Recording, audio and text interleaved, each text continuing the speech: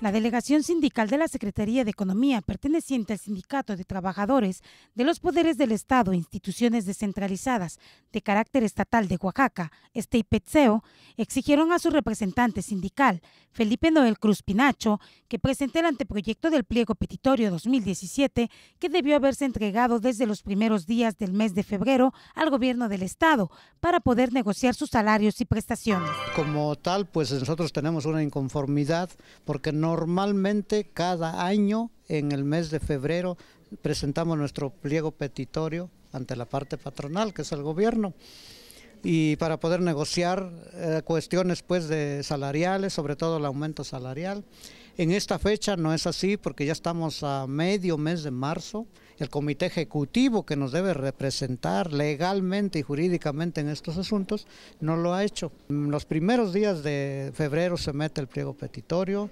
Antes se tienen que hacer unas asambleas para nombrar a la comisión negociadora que va a negociar sobre ese pliego y se tiene que consensar ese anteproyecto primero del pliego petitorio, se tiene que analizar para que hasta que la base lo apruebe y diga, sí, estamos de acuerdo sobre los términos del anteproyecto.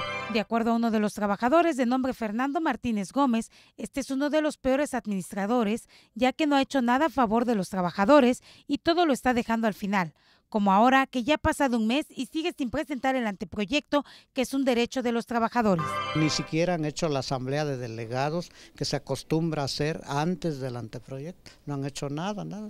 Por eso la inconformidad de la base trabajadora, pues. Igual han tratado de desaparecer delegaciones que no son afines a ellos. Ellos lo que tratan es de tener gente de afín a ellos, de donde sea, como sea, pero a ellos. Y a los que no son afines a ellos, pues los rechazan, los malven.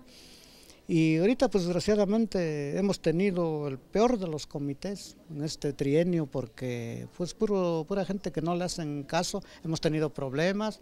La vez pasada estuvo una semana bloqueado el edificio sindical porque hubo inconformidad, quisieron dar de baja a unos compañeros.